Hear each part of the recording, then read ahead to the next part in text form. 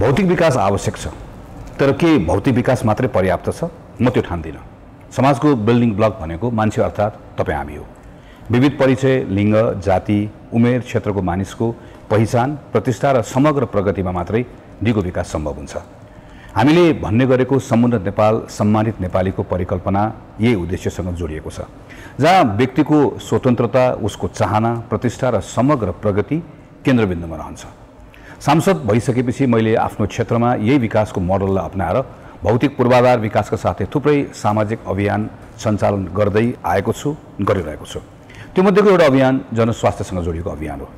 मेरो श्रीमती आफै पनि चिकित्सक भएको र म पनि स्वास्थ्य क्षेत्रमा विशेष रुचि राख्ने हुँदा अक्सर यो विषय प्राथमिकतामा पर्ने पनि गर्यो विज्ञहरूसँग परामर्शपछि हामीले सबैभन्दा पहिला महिलामा हुने पाठेकर र स्तनको क्यान्सरलाई सुरु नै चरणहरूमा पहिचान गर्न सक्यो भने यसले निम्त्याउन सक्ने असरलाई धेरै हदसम्म न्यूनीकरण गर्न सकिन्छ भन्ने बुझाइमा पुग्यौँ।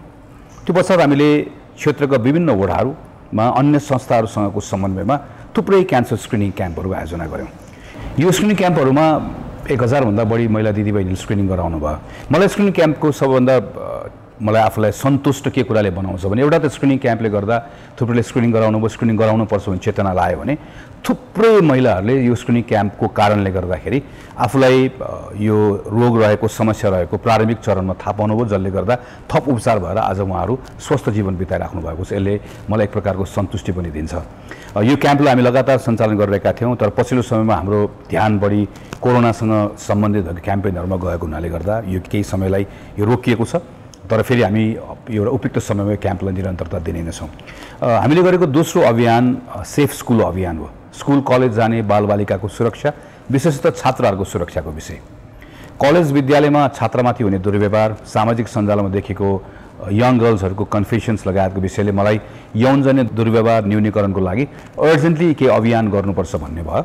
र सांसदको कार्यालयको टिमले तत्काल हामीले विज्ञहरूसँग परामर्श गऱ्यौँ र अभियानको एउटा खाका कोर्यौँ यो खालको घटना भएको अवस्थामा दोषीलाई कारवाही गर्ने सर्भाइभरलाई संरक्षण गर्ने कुरा त छँदैछ तर यो खालको घटनाहरू घट्नै नदिने र घटिहालेको अवस्थामा जो सर्भाइभर छ उसले निर्धकको रूपमा आफूलाई भएको अन्यायबारे बोल्न सक्ने अवस्था बनाउनुपर्छ। यो खालको समाज हामीले निर्माण गर्नुपर्छ। यही उद्देश्य सोचेर मैले क्षेत्रको थुप्रै हाई स्कुल्स र कलेजहरूमा पहिलो चरणको अभिमुखीकरण कार्यक्रम सञ्चालन गरेँ हामीले गऱ्यौँ। र यो मार्फत पनि करिब करिब एक हजारभन्दा बढी विद्यार्थीहरूमा यो एक प्रकारले हामीले उनीहरूलाई अवेर गर्न सक्यौँ भन्ने लाग्छ। त्यस पछाडि अझै यसलाई कन्टिन्यू गर्ने हाम्रो विचार थियो तर डेङ्गी सङ्क्रमणको कारणले गर्दा थुप्रै विद्यार्थीहरू माझ हामीले प्लान गरे अनुसार पुग्न त सकेनौँ तर यो सेफ स्कुल क्याम्पेन यसले थुप्रै नयाँ भोलिन्टियर्सहरू जन्माएको छ लोकल लिडर्सहरू जन्माएको छ उहाँहरूलाई अर्गनाइज गरेर आउने दिनमा हामीले अगाडि बढाउँछौँ नै। यो पछि हामीले सञ्चालन गरेको अभियान मेन्टल हेल्थ सम्बन्धी अभियान हो। मेन्टल हेल्थ अहिले पनि एउटा ट्याबुको रूपमा रहेको छ। बालबच्चाहरूले अझै पनि खुलेर आफ्नो समस्या आफ्नो भावनाहरू आफ्नो अभिभावकलाई भन्न सक्ने अवस्था छैन।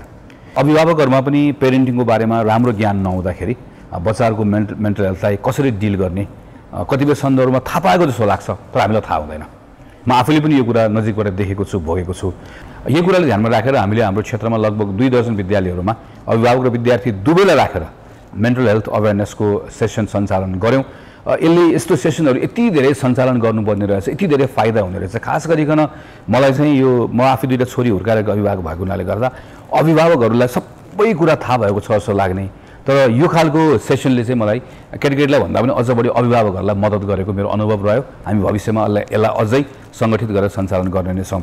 हाम्रो अर्को अभियान हामी उद्यमी भन्ने अभियान हो। मलाई के विश्वास लाग्छ भने प्रत्येक मान्छेभित्र एउटा उद्यमीको एउटा भावना र स्पिरिट बसेको हुन्छ।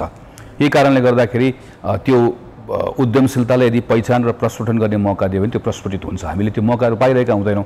हामी उद्यमी एउटा यस्तै कार्यक्रम हो जसले कसैलाई पनि आफूभित्रको उद्यमीको पहिचान गर्न उसलाई इन्करेज गर्छ र मार्केट प्लेसमेन्टसम्म हरेक स्टेपमा उद्यमीको साथमा र उसलाई सहयोग गर्छ।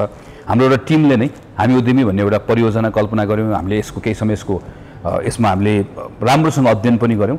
र नेसनल लेभलमा पोलिसीमा हस्तक्षेप गर्न पनि यो अभियानमा लागेको साथीले तयार गरेको डकुमेन्ट्सहरूले मलाई मद्दत गर्यो भने हामीले लोकल लेभलमा चाहिँ तिन सयजनाभन्दा बढी उद्यमीसँग रहेर काम गर्नुको लागि एउटा खाका पनि यसबाट बन्यो।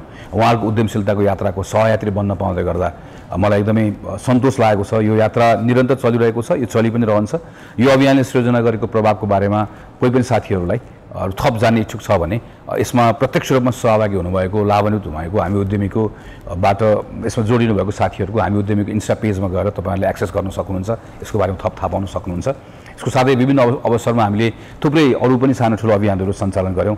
पर्यटन वर्षको अवसर पारेर हरेक पसलमा डस्टबिन वितरण गर्ने रक्तदान साप्ताहिक सरसफाइ कार्यक्रम कोभिड सङ्क्रमण लगतै नेपालको शैक्षिक क्षेत्रको बारेमा बृहत छलफलसहित विद्यालयहरूको पाठ्यक्रम निर्माण गरिएको भाइ बहिनी अभियान यसै गरिकन कारखानासँग मिलेर यहाँको हाम्रो साइन्स म्याथ टिचरहरूसँग टिचर्सहरूसँगको एउटा अझै त्यो पढाउने क्षमता कसरी यसलाई अगाडि बढाउन सकिन्छ भन्ने बारेको अभियान। यस्तो खालको थुप्रै अभियानहरू हामीले सञ्चालन गऱ्यौँ।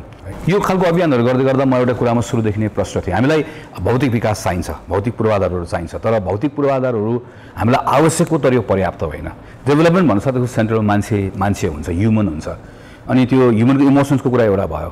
तर सँगसँगै उसको प्रगति उसको प्रतिष्ठाको कुरामा हामीले काम गर्न सक्यौँ भने मात्रै। अनि बल्ल त्यो डेभलपमेन्ट हो बल्ल त्यो समुन्नत हुन्छ भन्ने म ठान्दछु। त्यसैले as a member of parliament मैले संसदमा नियम कानुन बन्दै गर्दाखेरि यसले मान्छेको त्यो सर्वाङ्गीण विकासमा त्यसले मद्दत गर्छ कि त्यसलाई त्यसलाई अझ सङ्कुचित गर्छ भन्नेतर्फ ध्यान दिने त्यो मेरो आफ्नो जिम्मेवारी त मैले गरेँ नै। त्यो म त्यो मेरो मुख्य काम थियो भन्ने ठान्दछु।